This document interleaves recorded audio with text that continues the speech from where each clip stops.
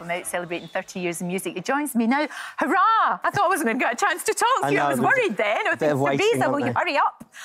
How are you? Very well, thank you. It's very well. great to see you. Now, this is called The Last King of Pop because you don't consider yourself to be a pop star, I guess. Um, no, not really. I, I, I don't, but I, I thought I'd go the whole hog with the Last King stuff. Um, and because I've had a sort of life of modesty, really, you know, with Yes. the Housemartins, we used to call ourselves the fourth best band in Hull. And um, but with this, I thought, well, you know, Go for it. Go the for it. tunes are amazing. Actually, I, I mean, I'd almost forgotten the, the amount that you've done and the amazing, amazing songs that you've done. They're remarkable.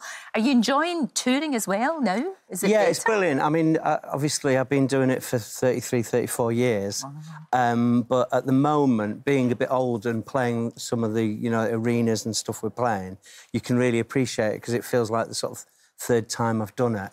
Yeah. Uh, and being older and sort of sober and stuff like that, Yeah. I think it's, it's just, uh, yeah, it's just a really nice time in my life. There was a documentary about you on Channel 4 um, last night, in fact. That's right. and they were quite surprised at how modestly you live. It might be become a bit of a problem if I moved my way, I get self that. away. I get that. Probably you wouldn't be as comfortable as well, maybe. Exactly, You know, no, that's, I- because it's that- it's true. It's those brilliant songs that I love you from the bottom of my pencil case. yeah. That's the, one of the best lines I've ever heard. Yeah, I, I, it's a weird one that because I, I actually I didn't think I didn't think of it as being so eccentric because I thought every songwriter wrote with a pencil case, and it was only when we released it people were like, "What?" But I get that. I get Yeah. that. And it made me think of school as well. You know, Yeah, you have yeah, like, school exactly, yeah. romances and things like that.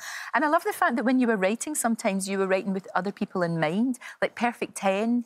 Yeah. Tom Jones. And Perfect I 10. get that. He Yeah. would be that would work really Yeah, well. Yeah, he would take it, it well, at the time. He would have taken it as sort of a dirtier song. And Yes. Old Red Eyes I originally wrote with Chris Rea in mind. That makes sense. Um, you know, because he had that gravelly voice to go Yeah, with yeah, it. yeah, yeah. So I sort of put these songs to other people, and then I snatched them back and want to sing them myself. Yeah. Now, what's all this about Adele owing you a couple of quid? Well, Adele actually, uh, she was honest to, en- enough to admit that she got into one of our shows free and uh, admitted it live on radio. Right. I'm just wondering what the reaction would be if I tried to persuade her security that she owed me a ticket for one of her concerts. I'm, not sure. Could, I'm sure it could be arranged.